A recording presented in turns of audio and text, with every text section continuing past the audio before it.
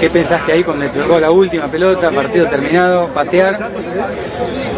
Y la verdad que sabía que, iba a ser un partido muy cerrado, que iba que iban a estar muy, muy efectivos en, los palos, no me tocó en una, entonces sabía que la última era la más importante y tenía que meterla sí o sí, así que pero me concentré, solo pensé en meterla, no pensé en otra cosa, bueno, por suerte la. ¿Cómo se dio el partido? ¿Muy físico, muy desgastante? Sí, muy físico, creo que los dos equipos fueron protagonistas, creo que sí tuvo su momento, Alumni su momento, lo aprovechamos los dos, creo que hubo, hubo fallas y eso las pudieron aprovechar bien, en las fallas de ellos nosotros las aprovechamos bien, pero bueno, son partidos así muy cerrados, son como finales y hay que jugarlas así, el mínimo error hay que aprovecharlo y, y la verdad que fue muy parejo.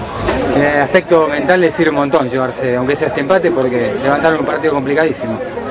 Y creo que sí, más que nada también porque lo buscamos en el segundo tiempo, a acercarnos, a empatarlo, a ganarlo y, estuvimos muy cerca en cinco o seis oportunidades y no se nos daba y, y creo que si, si no, no se nos daba por lo menos el empate creo que íbamos a, caer demasiado porque, porque estuvimos intentando mucho, así que eh, nada, sacamos por lo menos un empate al final, creo que fue bastante agónico, pero bueno, tuvimos que sufrir bastante. ¿Hay premio familiar por conversión o era No por no strike? sé, no sé, después hay que, hay que arreglarlo, pero bueno, contento.